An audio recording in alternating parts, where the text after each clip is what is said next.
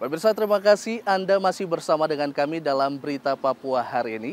Dan bagi Anda yang baru saja bergabung bersama kami, akan kami sajikan kembali berita utama kami di hari ini. Berikut cuplikannya.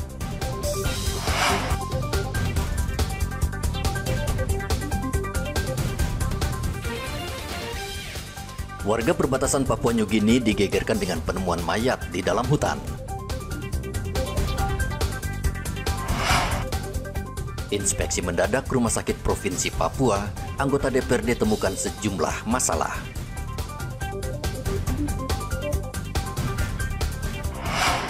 Harga cabai dan bawang di Mimika turun.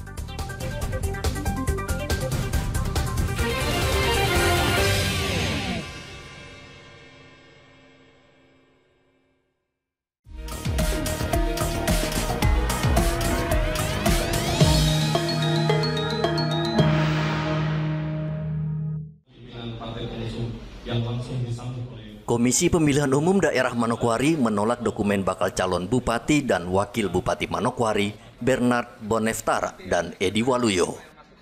Penolakan dokumen bakal calon paslon itu disebabkan KPU belum menerima pendaftaran resmi lewat silon atau aplikasi online. Sempat terjadi adu argumen antara tim sukses pasangan calon dan komisioner KPU di kantor KPU.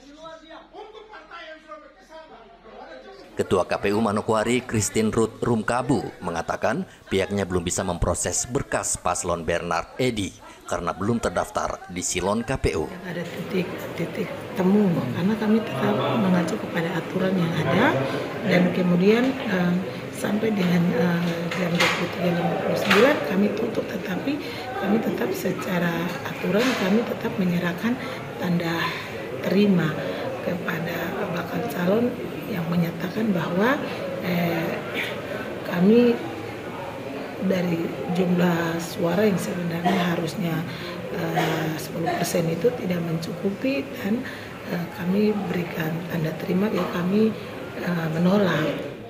KPU meminta bakal calon yang tidak puas agar melaporkan secara resmi ke kantor Bawaslu Manokwari.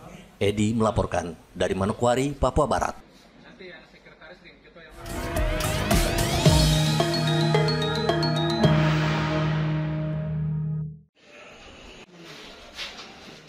Rumah Sakit Umum Daerah Papua Barat menyerahkan secara resmi hasil tes kesehatan bakal calon gubernur dan wakil gubernur serta bupati ke Komisi Pemilihan Umum Papua Barat. Direktur Rumah Sakit Umum Papua Barat Arnoldus Tiniap mengatakan ada 12 bakal calon kepala daerah dari tujuh kabupaten yang diserahkan dokumennya ke KPU. Total semua paslon itu ada 24, eh, 12 total yang diperiksa 24. Nah, kita melakukan pemeriksaan mulai dari tanggal 30 hari Kamis, hari Jumat, terus lanjut hari Sabtu, tanggal 31 dan tanggal 1. Dari pemeriksaan yang dilakukan itu mencakup tiga bagian besar, ya, pemeriksaan fisik, ya, mulai dari eh, jantung, mata, terus kemudian melakukan pemeriksaan saraf, ya, paru, dan kemudian melakukan pemeriksaan peninjauan termasuk kita periksa kepala ya, scan. Nah, dan total uh, dokter spesialis yang terlibat 12 orang. Sesuai dengan spesialisasi yang mereka miliki. Dan kita melakukan pemeriksaan. Dan yang kedua pemeriksaan uh, narkoba.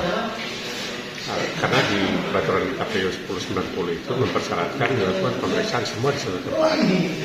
Maka tim BNI juga bergabung dengan kita kemarin kita sudah pleno menyimpulkan dari semua paslon dengan masing-masing ada sedikit penyakit, ada gangguan, itu sesuatu yang normal.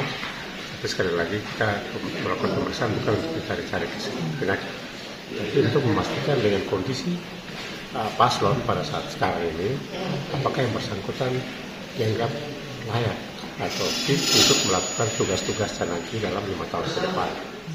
Hasil tes kesehatan itu akan digunakan oleh KPU Papua Barat untuk mempertimbangkan apakah Bapaslon bisa melanjutkan ke tahap penetapan calon pada 22 September mendatang.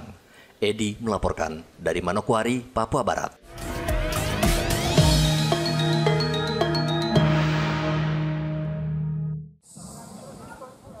Selama sepekan, seluruh bakal calon gubernur maupun bupati melakukan tes kesehatan di RSUD Merauke. Hasil tes kesehatan paslon diserahkan langsung Maraike Kulang, Kepala Pelayanan RSUD Merauke, ke Komisioner KPU Provinsi Papua Selatan, Helda Ambay. Berapa hari pemeriksaan, satu, pas, satu calon dua hari ya, karena memang pemeriksaannya sangat panjang dan tentunya kita semua sudah menyaksikan dan dilanjutkan dengan uh, pleno. Mohon maaf seperti yang disampaikan tadi, uh, kami mungkin tanggal 5 sudah memerlukan hasil keputusan tim kesehatan tapi karena dokter-dokter harus poli, visi pasien sehingga mereka bisa melakukan pleno di siang hari. Jadi kami melakukan pleno dari tanggal 4 dan akhirnya sudah selesai dan e, secara garis besar saja hasil pleno itu semuanya dinyatakan e, mampu secara jasmani dan rohani serta tidak terindikasi penyakit narkotika sehingga mampu menjalankan tugas dan tanggung jawab baik sebagai gubernur, wakil gubernur, bupati maupun wakil bupati di uh, beberapa kabupaten. Pemeriksaan kesehatan bagi semua pasangan bakal calon cukup lama karena banyaknya pasangan yang harus menjalani pemeriksaan, sementara waktu yang ditentukan KPU terbatas. KPU saat ini masih melakukan verifikasi berkas paslon dan akan mengumumkan hasil verifikasi berkas pada 22 September mendatang. Muhammad Ridwan melaporkan dari Merauke, Papua Selatan.